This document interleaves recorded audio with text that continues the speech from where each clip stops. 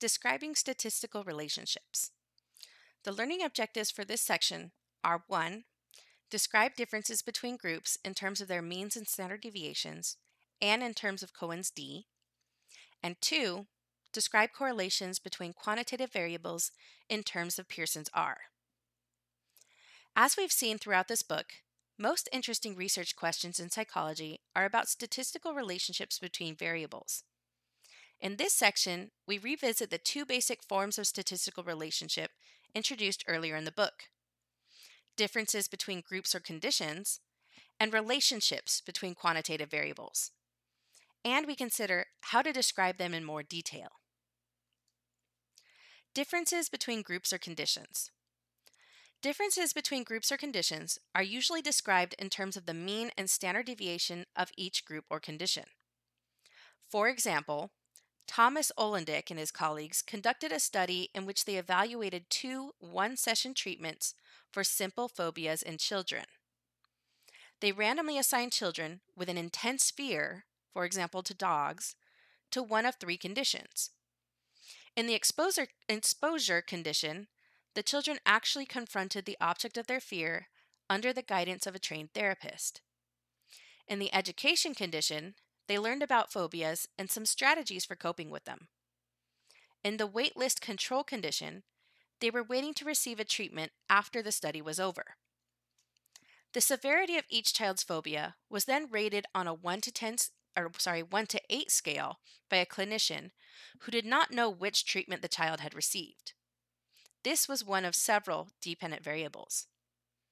The mean fear rating in the education condition was 4.83 with a standard deviation of 1.52, while the mean fear rating in the exposure condition was 3.47 with a standard deviation of 1.77.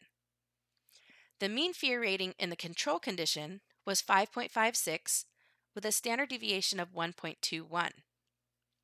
In other words, both treatments worked, but the exposure treatment worked better than the education treatment. As we've seen, Differences between group or condition means can be presented in a bar graph like that in figure 12.5, where the heights of the bars represent the group or condition means. We'll look more closely at creating American Psychological Association or APA style bar graphs shortly. It is also important to be able to describe the strength of a statistical relationship, which is often referred to as the effect size. The most widely used measure of effect size for differences between group or condition means is called Cohen's d, which is the difference between the two means divided by the standard deviation. In this formula, it doesn't really matter which is M1 and which is M2 when we find the difference between the two means. If there's a treatment group and a control group, the treatment group mean is usually M1 and the control group mean is usually M2. So we would put treatment minus control on the top.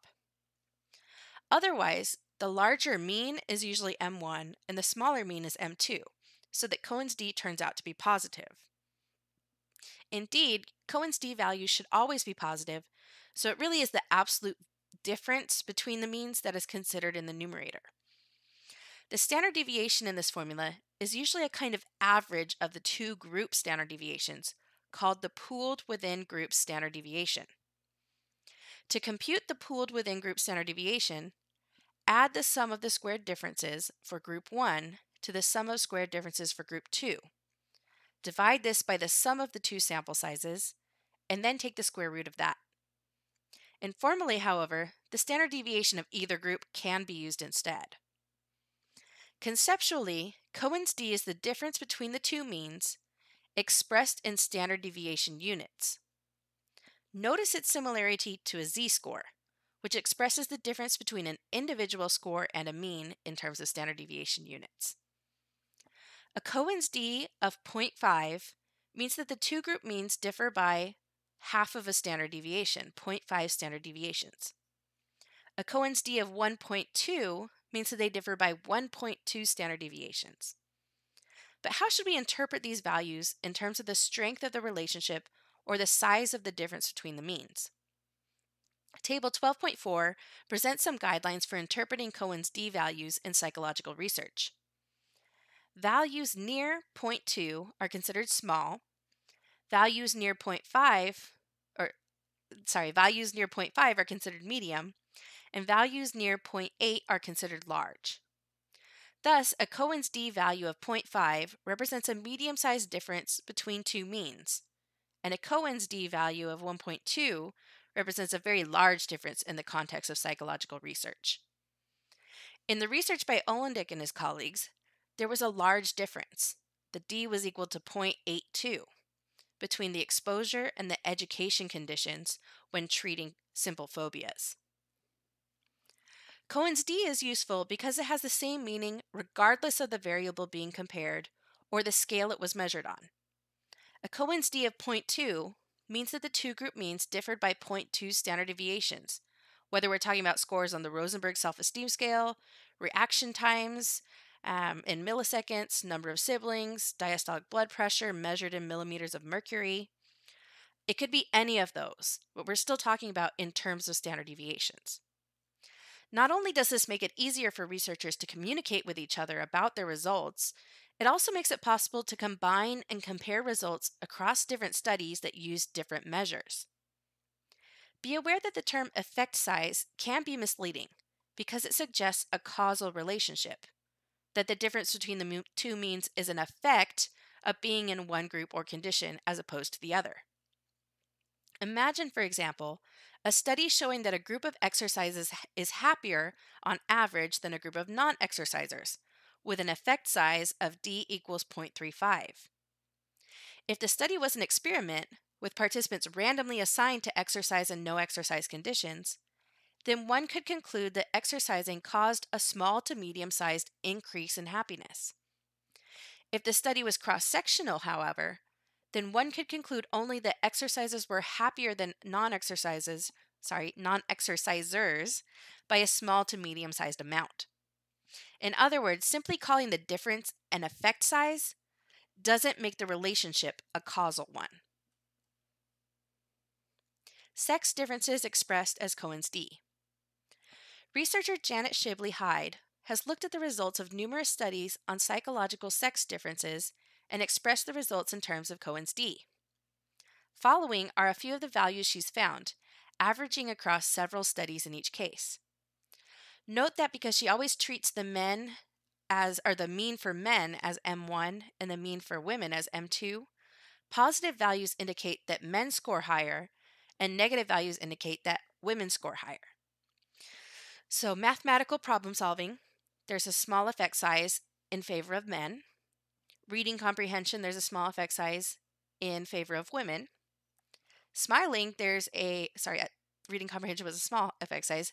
Smiling has a small to moderate um, effect size in favor of women. Aggression is a moderate effect size in favor of men. Attitudes towards casual se- sex is a large effect size in favor of men. And leadership effectiveness is relatively nothing. Hyde points out that although men and women differ by a large amount on some variables, like attitudes towards casual sex, they differ only by a small amount on the vast majority. In many cases, Cohen's d is less than 0.1, which she terms a trivial difference. The difference in talkativeness discussed in Chapter 1, the talkativeness between men and women, was also trivial, with a d of 0.06. Although researchers and non researchers alike often emphasize sex differences, Hyde has argued that it makes it at least as much sense to think of men and women as fundamentally similar. She refers to this as the gender similarities hypothesis. Correlations between quantitative variables.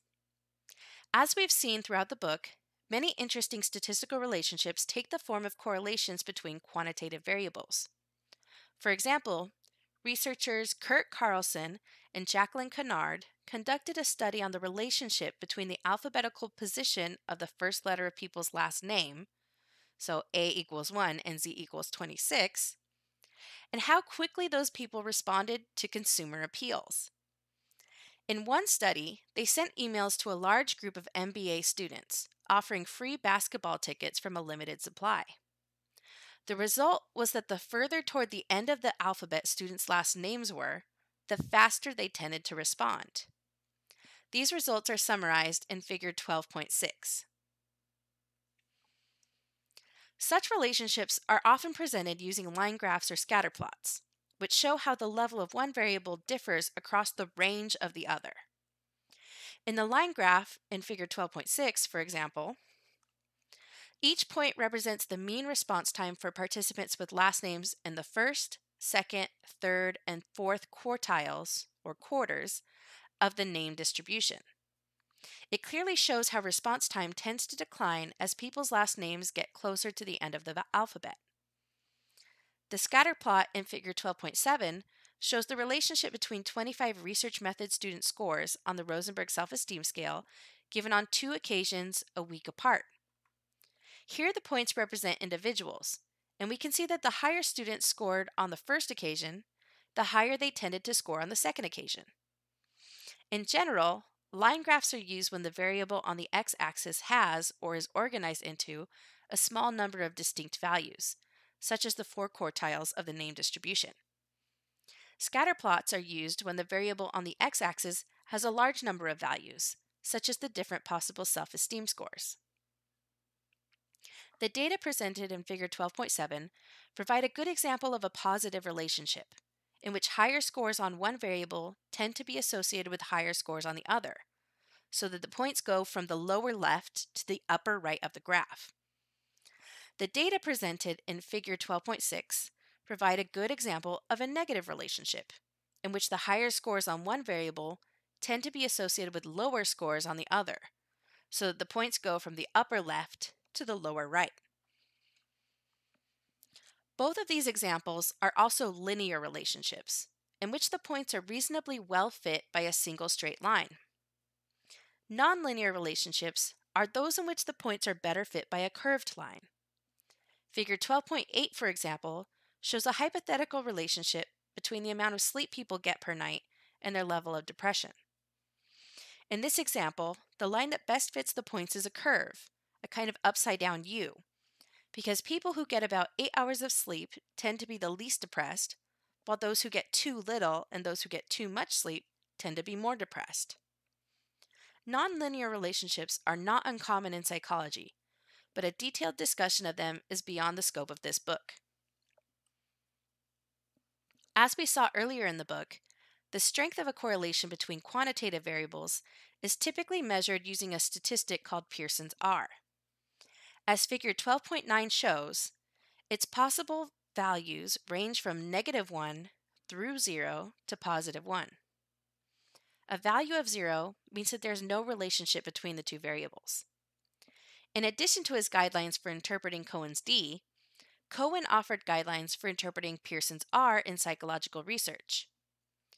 Values near plus or minus 0.1 are considered small, Values near plus or minus 0.3 are considered medium, and values near plus or minus 0.5 are considered large.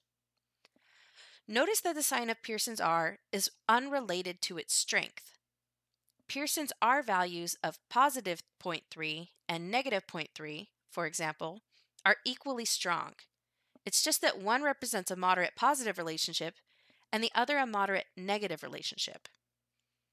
Like Cohen's D, Pearson's R is also referred to as a measure of effect size, even though the relationship may not be a causal one. The computations for Pearson's R are more complicated than those for Cohen's D. Although you may never have to do them by hand, it's still instructive to see how. Computationally, Pearson's R is the mean cross product of z-scores. To compute it, one starts out by transforming all the scores to z-scores. For the x variable, subtract the mean of x from each score and divide each difference by the standard deviation of x. For the y variable, subtract the mean of y from each score and divide each difference by the standard deviation of y. Then, for each individual, multiply the two z-scores together to form a cross product. Finally, take the mean of the cross products. The formula looks like the one presented in the lower left of the screen. Table 12.5 illustrates these computations for a small set of data. The first column lists the scores for the x variable, which has a mean of 4 and a standard deviation of 1.9. The second column is the z-score for each of these raw scores. The third, sorry, the third and fourth columns list the raw scores for the y variable, which has a mean of 40 and standard deviation of 11.78, and the corresponding z-scores. The fifth column lists the cross products, so multiplying those together. For example, the first one is 0 multiplied by negative 0.85, which is equal to 0. The second is 1.58 multiplied by 1.19, which is equal to 1.88. The mean of these cross products, shown at the bottom of that column, is Pearson's R, which in this case is positive 0.53.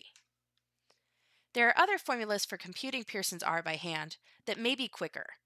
This approach, however, is much clearer in terms of communicating conceptually what Pearson's R is. As we saw earlier, there are two common situations in which the value of Pearson's R can be misleading. One is when the relationship under study is nonlinear. Even though figure 12.8 shows a fairly strong relationship between depression and sleep, Pearson's R would be close to zero, would be close to zero because the points in the scatter plot are not well fit by a single straight line. This means that it's important to make a scatter plot and confirm that a relationship is approximately linear before using Pearson's R. The other case is when one or both of the variables has a limited range in the sample relative to the population. This problem is referred to as restriction of range. Assume, for example, that there's a strong negative correlation between people's age and their enjoyment of hip hop music, as shown by the scatterplot in Figure 12.10. Pearson's R here is negative 0.77. However, if we were to collect data only from 18 to 24 year olds, represented by the shaded area of Figure 12.10, then the relationship would seem to be quite weak. In fact, Pearson's R for this restricted range of ages is zero. It's a good idea, therefore, to design studies to avoid restriction of range. For example, if age is one of your primary variables, then you can plan to collect data from people of a wide range of ages. Because restriction of range is not always anticipated or easily avoidable, however, it is good practice to examine your data for possible restriction of range and to interpret Pearson's R in light of it. There are also statistical methods to correct Pearson's R for restriction of range, but they're beyond the scope of this book.